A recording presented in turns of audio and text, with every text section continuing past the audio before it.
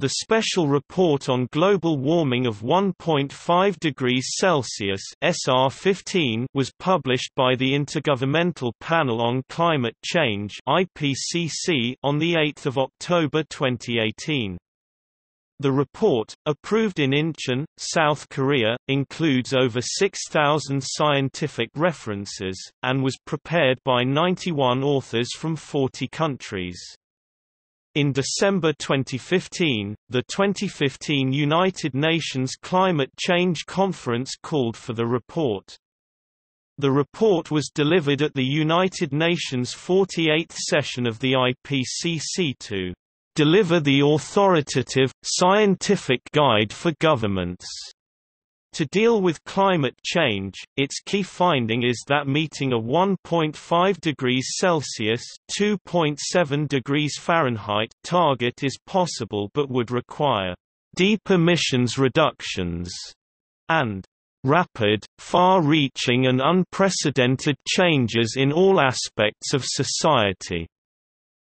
Furthermore, the report finds that limiting global warming to 1.5 degrees Celsius compared with 2 degrees Celsius would reduce challenging impacts on ecosystems, human health and well-being and that a 2 degrees Celsius temperature increase would exacerbate extreme weather, rising sea levels and diminishing Arctic sea ice, coral bleaching, and loss of ecosystems, among other impacts. State Route 15 also has modeling that shows that, for global warming to be limited to 1.5 degrees Celsius, global net human-caused emissions of carbon dioxide CO2 would need to fall by about 45% from 2010 levels by 2030, reaching net zero around 2050. The reduction of emissions by 2030 and its associated changes and challenges, including rapid decarbonization, was a key focus on much of the reporting which was repeated through the world.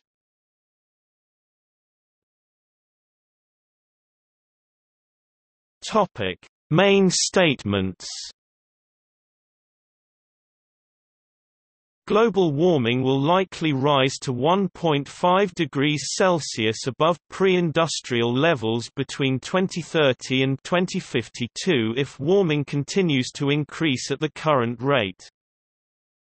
State Route 15 provides a summary of, on one hand, existing research on the impact that a warming of 1.5 degrees Celsius equivalent to 2.7 degrees Fahrenheit would have on the planet, and on the other hand, the necessary steps to limit global warming, even assuming full implementation of conditional and unconditional nationally determined contributions submitted by nations, in the Paris Agreement, net emissions would increase compared to 2010, leading to a warming of about 3 degrees Celsius by 2100, and more afterwards.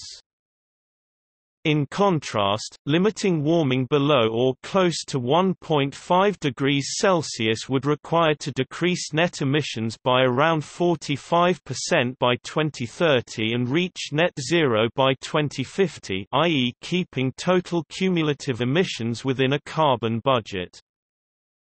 Even just for limiting global warming to below 2 degrees Celsius, CO2 emissions should decline by 25% by 2030 and by 100% by 2075. Pathways, i.e., scenarios and portfolios of mitigation options that would allow such reduction by 2050 permit only about 8% of global electricity to be generated by gas and 0 to 2% by coal, to be offset by carbon dioxide capture and storage. In these pathways, renewables are projected to supply 70 to 85% of electricity in 2050 and the shares of nuclear energy is modeled to increase. They also assume that other measures are simultaneously undertaken, e.g. non-CO2 emissions such as methane, black carbon, nitrous oxide are to be similarly reduced, energy demand is unchanged, reduced by even 30% or offsetted by an unprecedented scale of carbon dioxide removal methods yet to be developed, while new policies and research allows to improve efficiency in agriculture and industry.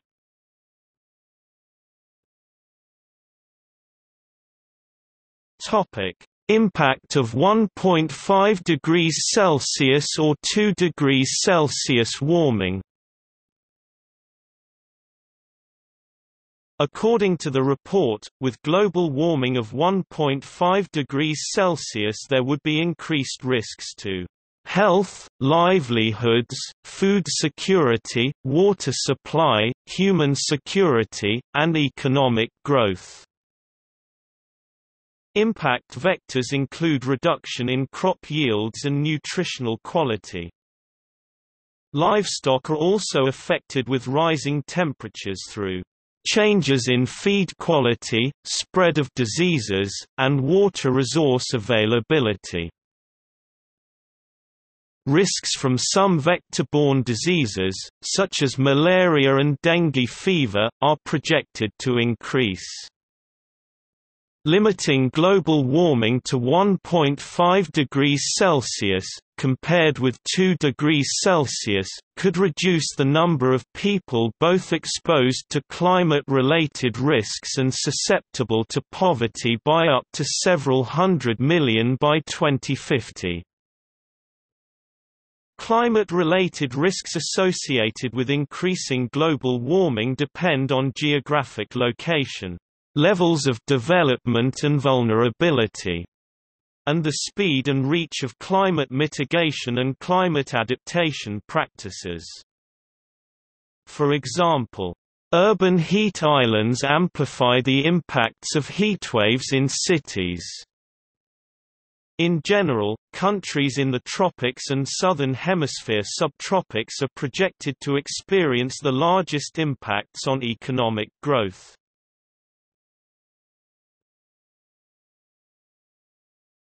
Topic: Weather, sea level, ice. Many regions and seasons experience warming greater than the global annual average, e.g., 2 to 3 times higher in the Arctic. Warming is generally higher over land than over the ocean, and it correlates with temperature extremes which are projected to warm up to twice more on land than the global mean surface temperature as well as precipitation extremes both heavy rain and droughts.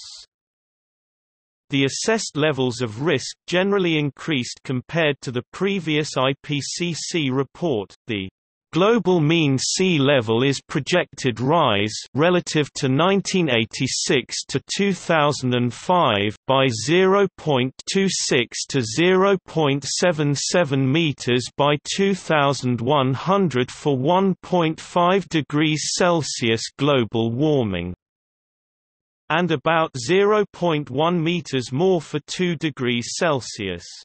A difference of 0.1 meters may correspond to 10 million more or fewer people exposed to related risks.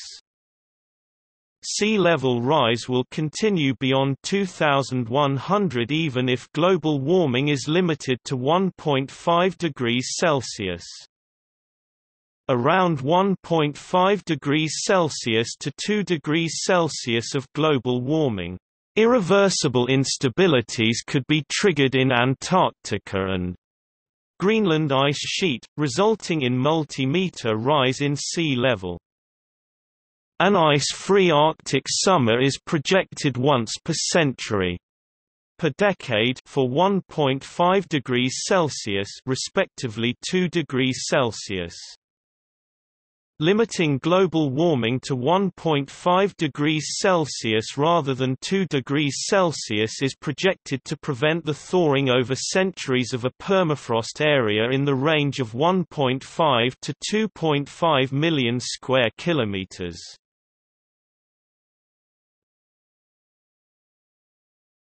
Topic: Ecosystems a decrease in global annual catch for marine fisheries of about 1.5 or 3 million tons for 1.5 degrees Celsius or 2 degrees Celsius of global warming is projected by one global fishery model cited in the report. Coral reefs are projected to decline by a further 70 to 90% at 1.5 degrees Celsius, and even more than 99% at 2 degrees Celsius. Of 105,000 species studied, 18% of insects, 16% of plants and 8% of vertebrates fare projected to lose over half of their climatically determined geographic range for global warming of 2 degrees Celsius. Approximately 4% or 13% of the global terrestrial land area is projected to undergo a transformation of ecosystems from one type to another. At 1 degree Celsius or 2 degrees Celsius, respectively. High-latitude tundra and boreal forests are particularly at risk of climate change-induced, degradation and loss, with woody shrubs already encroaching into the tundra and will proceed with further warming.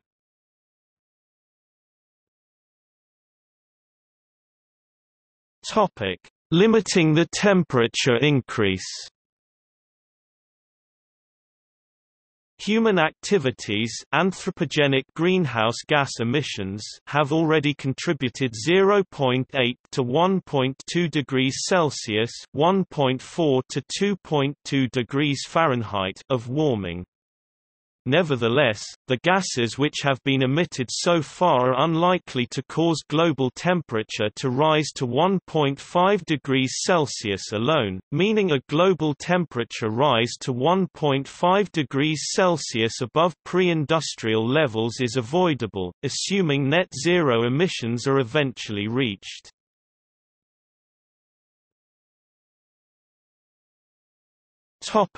Carbon budget Limiting global warming to 1.5 degrees Celsius requires staying within a total carbon budget, i.e. limiting total cumulative emissions of CO2. In other words, if net anthropogenic CO2 emissions are kept above zero, a global warming of 1.5 degrees Celsius and more will eventually be reached. The exact value of this budget is not assessed in the report, but estimates of 400 to 800 GT CO2 gigatons of CO2 remaining budget are given 580 GT CO2 and 420 GT CO2 for a 66% and 50% probability of limiting warming to 1.5 degrees Celsius, using global mean surface air temperature GSA or 770 and 570 GTCO2, for 50% and 66% probabilities, using Global Mean Surface Temperature GMST. This is about 300 GTCO2 more compared to a previous IPCC report, due to updated understanding and further advances in methods. Current emissions deplete this budget at 42 plus or minus 3 GTCO2 per years. Anthropogenic emissions from the pre-industrial period to the end of 2017 are estimated to have reduced the budget for 1.5 degrees Celsius by approximately 2,200 plus or minus 320 GTCO2. The estimates for the budget come with significant uncertainties associated with climate response to CO2 and non-CO2 emissions. These contribute about plus or minus 400 GTCO2 in uncertainty. The level of historic warming plus or minus 250 GTCO2, potential additional carbon release from future permafrost thawing and methane release from wetlands reducing the budget by up to 100 GTCO2 over the century, and the level of future non-CO2 mitigation plus or minus 400 GTCO2.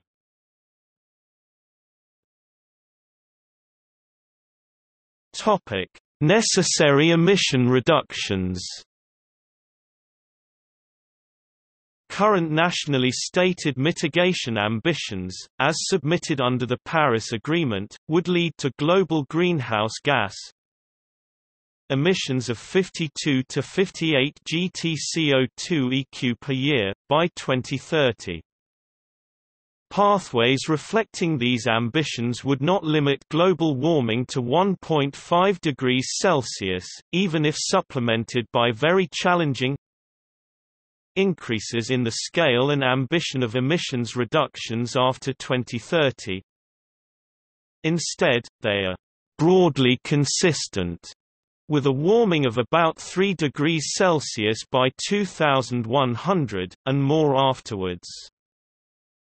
Limit global warming to 1.5 degrees Celsius with no or limited overshoot would require reducing emissions to below 35 GTCO2 eq per year in 2030, regardless of the modeling pathway chosen. Most fall within 25 to 30 GTCO2 eq per year, a 40 to 50% reduction from 2010 levels. The report says that for limiting warming to below 1.5 c Global net human-caused emissions of CO2 would need to fall by about 45% from 2010 levels by 2030, reaching net zero around 2050. Even just for limiting global warming to below 2 degrees Celsius, CO2 emissions should decline by 25% by 2030 and by 100% by 2070. Non-CO2 emissions should decline in more or less similar ways. This involves deep reductions in emissions of methane and black carbon, at least 35% of both by 2050, relative to 2010, to limit warming near 1.5 degrees Celsius. Such measures could be undertaken in the energy sector and by reducing nitrous oxide and methane from agriculture, methane from the waste sector, and some other sources of black carbon and hydrofluorocarbons. On timescales longer than tens of years, it may still be necessary to sustain net negative CO2 emissions and or further reduce non-CO2 radiative forcing, in order to prevent further warming due to Earth system feedbacks, reverse ocean acidification, and minimize sea level rise.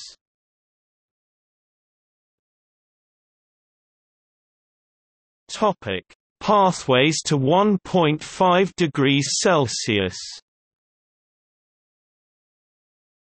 Various pathways are considered, describing scenarios for mitigation of global warming, including portfolios for energy supply and negative emission technologies like afforestation or carbon dioxide removal. Examples of actions consistent with the 1.5 degrees Celsius pathway include Shifting to low or zero-emission power generation, such as renewables, changing food systems, such as diet changes away from land-intensive animal products, electrifying transport and developing green infrastructure, such as building green roofs, or improving energy efficiency by smart urban planning, which will change the layout of many cities. As another example, an increase of forestation by 10 million square kilometers, 3,900,000 square miles by 2050 relative to 2010 would be required. The pathways also assume an increase in annual investments in low carbon energy technologies and energy efficiency by roughly a factor of 4 to 10 by 2050 compared to 2015.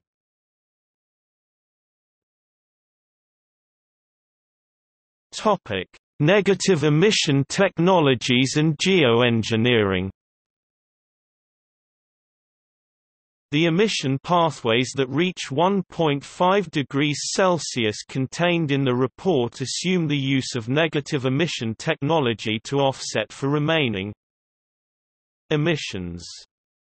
Pathways that overshoot the goal rely on them to exceed remaining emissions in order to return back to 1.5 degrees Celsius. However, understanding is still limited about the effectiveness of net negative emissions to reduce temperatures after an overshoot. Reversing an overshoot of 0.2 degrees Celsius might not be achievable given considerable implementation challenges. There are two main groups of geoengineering types in the report: carbon dioxide removal (CDR) and solar radiation management (SRM). For CDR the report highlights bioenergy with carbon capture and storage BECCS. The report notes that apart from afforestation, reforestation and ecosystem restoration, the feasibility of massive-scale deployment of many CDR technologies remains an open question. With areas of uncertainty regarding technology upscaling, governance, ethical issues, policy and carbon cycle. The report notes that CDR technology is in its infancy and the feasibility is an open question. Estimates from recent literature are cited, giving a potential of up to 5 GTCO2 per years for BECCS and up to 3.6 GTCO2 per years for afforestation. An analysis of the geoengineering proposals published in Nature Communication confirmed findings of the State Route 15, stating that all are in early stages of development, involve substantial uncertainties and risks, and raise ethical and governance dilemmas. Based on present knowledge, climate geoengineering techniques cannot be relied on to significantly contribute to meeting the Paris Agreement temperature goals.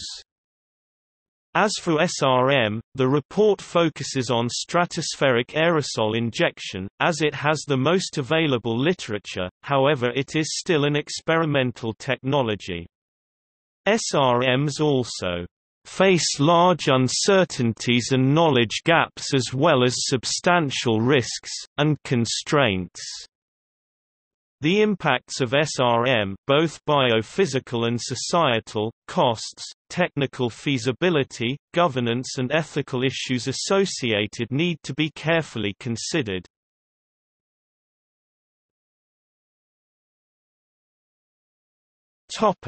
Process There are three IPCC working groups, Working Group 1 WGI, co-chaired by Valerie Masson-Delmotte and Panmao Zhai, covers the physical science of climate change. Working Group 2 WG2, co-chaired by Hans-Otto Portner and Debra Roberts, examines impacts, adaptation and vulnerability.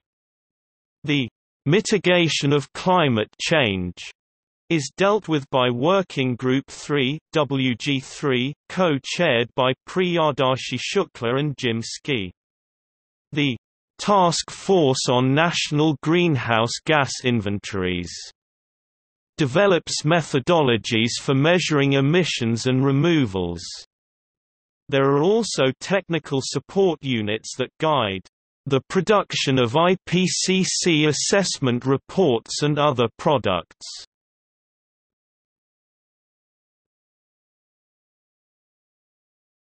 Topic: Contributors. Researchers from 40 countries, representing 91 authors and editors contributed to the report, which includes over 6,000 scientific references.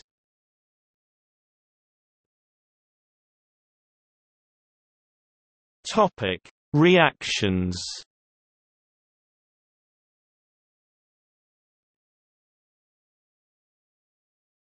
Topic: Researchers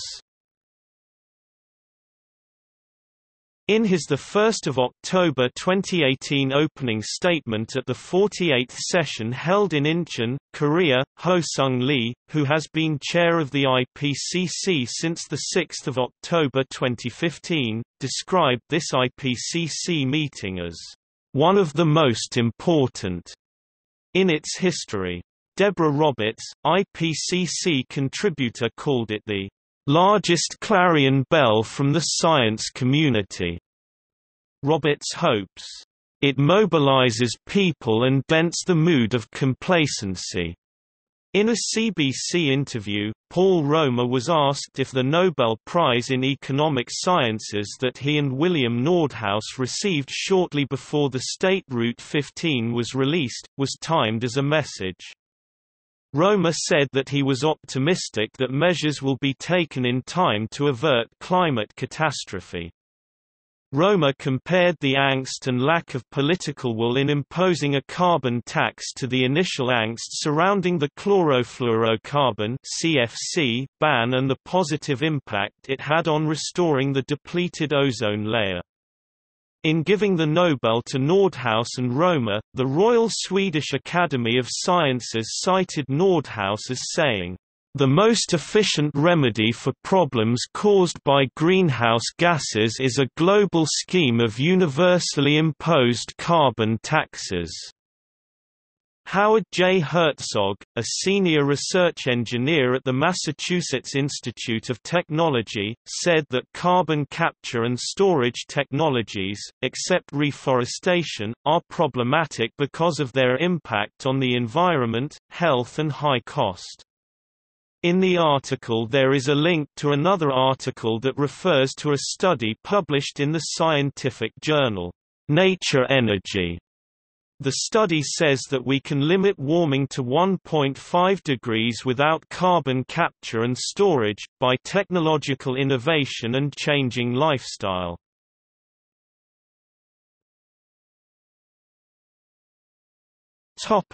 Politics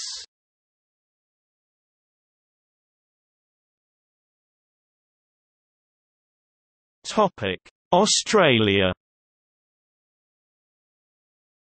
Prime Minister Scott Morrison emphasised that the report was not specifically for Australia but for the whole world. Energy Minister Angus Taylor said the government would not be distracted by the IPCC report saying, a debate about climate change and generation technologies in 2050 won't bring down current power prices for Australian households and small businesses. Environment Minister Melissa Price said that scientists are drawing a very long bow to say coal should be phased out by 2050 and supported new coal-fired power stations pledging not to legislate the Paris targets. Australia is not on track to meet the commitments under Paris Agreement according to modelling conducted by ClimateWorks Australia.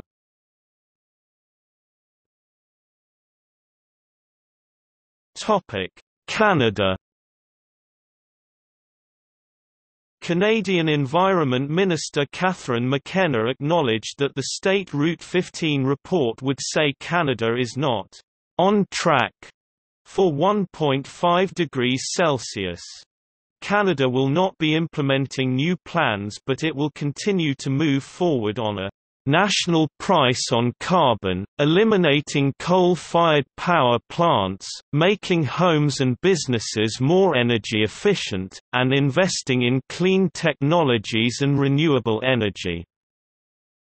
In response to a question on the sense of urgency of the State Route 15 report during a 9 October interview on CBC News's Power and Politics Andrew Scheer, the leader of the opposition, promised that they are putting forward a comprehensive plan to reduce CO2 without imposing a carbon tax which Scheer said raised costs without actually reducing emissions.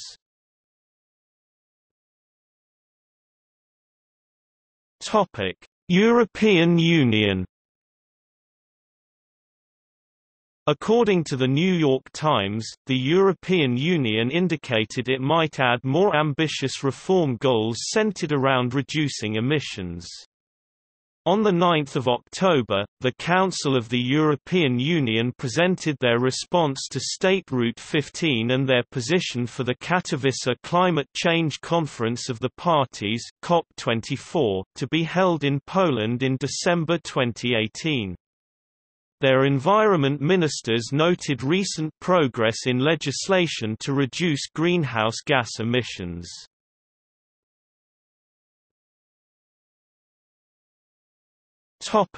India The Centre for Science and Environment said the repercussions for developing countries such as India, would be catastrophic at 2 degrees Celsius warming and that the impact even at 1.5 degrees Celsius described in State Route 15 is much greater than anticipated. Crop yields would decline and poverty would increase.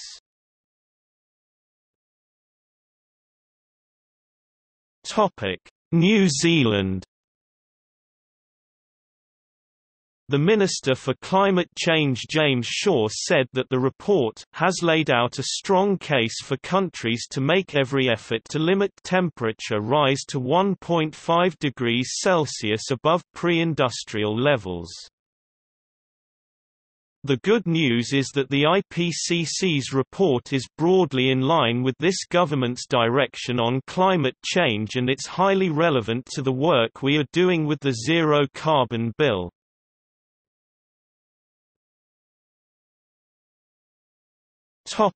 United States. President Donald Trump said that he had received the report, but wanted to learn more about those who drew it before offering conclusions.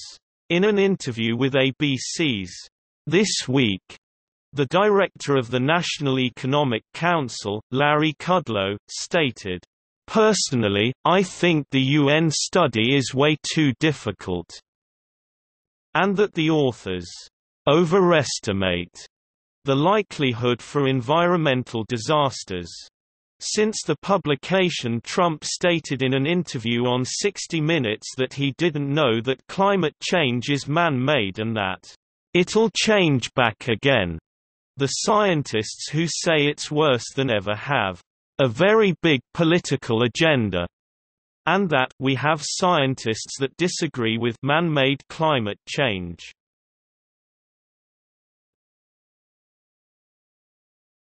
Topic: COP24 The governments of four countries, the gas, oil producers USA, Russia, Saudi Arabia and Kuwait, blocked a proposal to welcome the Intergovernmental Panel on Climate Changes IPCC special report on global warming of 1.5 degrees Celsius. Notes